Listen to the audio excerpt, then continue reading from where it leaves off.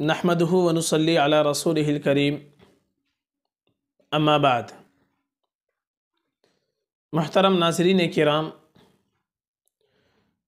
एक मसला हमारे सामने ये पेश आता है कि अगर शोहर या बीवी का एक दूसरे के सामने इंतकाल हो जाए मसलन बीवी के सामने शोहर का इंतकाल हो जाए या शोहर के सामने बीवी का इंतकाल हो जाए तो शोहर बीवी के इंतकाल के बाद एक दूसरे के चेहरे को देखना और छूना जायज़ है या जायज़ नहीं है।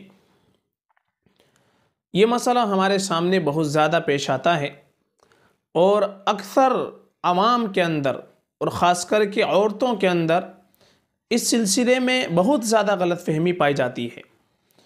चुनाचे अगर किसी औरत का इंतकाल हो जाए और शोहर ज़िंदा हो तो शोहर को उसका चेहरा देखने नहीं देते।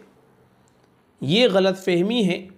तमाम कराम का इस बात पर और तमाम फ़ुकहा का इस पर इत्तिफ़ाक़ है कि अगर बीवी का इंतकाल हो जाए तो शोहर अपनी बीवी का चेहरा देख सकता है और उसके जनाजे को कंधा भी दे सकता है।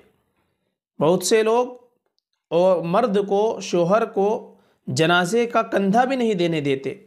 ये जहालत की बात है।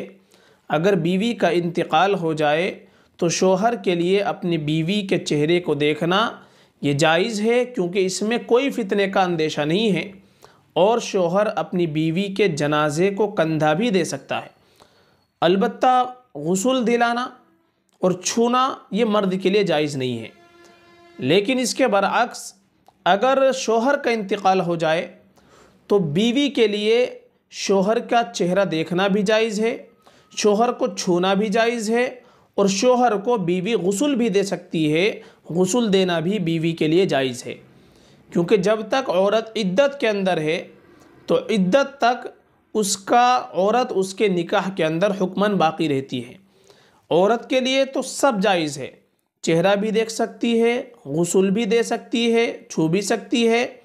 लेकिन शोहर के लिए सिर्फ़ चेहरा देखने की इजाज़त है और उसके साथ में जनाजे को कंधा भी दे सकता है।